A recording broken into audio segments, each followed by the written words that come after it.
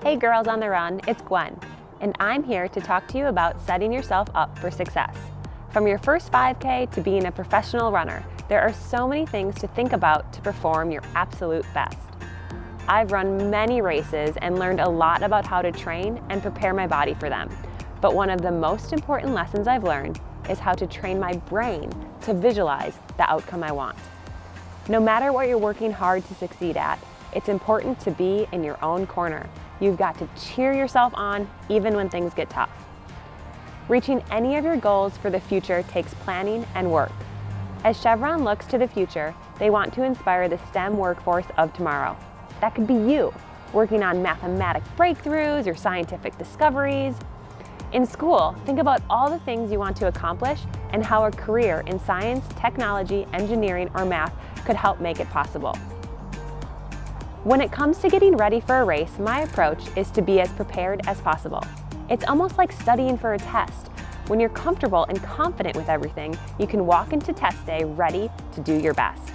On race day, I want as few unexpected surprises as possible. So I even adapt a nothing new on race day approach to my shoes and clothing.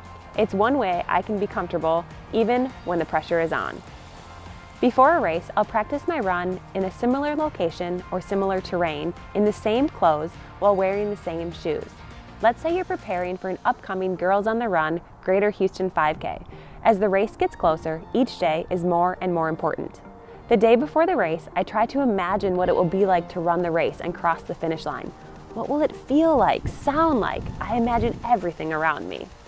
It may seem that visualizing your best performance is just a mental trick, but it's actually rooted in science. In this Chevron STEM Minute, we can take a closer look. Psychology is a field of science that covers the brain and human behavior. Humans have achieved so many remarkable things, and that human spirit is something we can all use to achieve the things we want in our lives. Mental images can positively impact activities your brain is used to doing. It primes the brain for success and your brain is responsible for everything from controlling your muscles to remembering your goals to planning your next move. Your mind and your body are more connected than you think. They're linked in ways that scientists are still working to uncover. But seeing yourself achieving your goals enhances your motivation, increases your confidence, and sets your mind up to succeed and overcome challenges. Before your next run with your friends, visualize the run. Who are you running with and what will it be like along the way? What will you see and hear and feel while you're running? It's easy to jump to visualizing the outcome that you want, like crossing the finish line. But it's also important to think about the process too. Even as a professional athlete, I can't just roll out of bed, head straight to a race, and do my best. I have to prepare, think about and visualize the process and the final results to prepare myself for the entire run. Good luck on your training and your next race. Know that I am here rooting for you. And remember, the most effective way to perform your best is to prepare your best.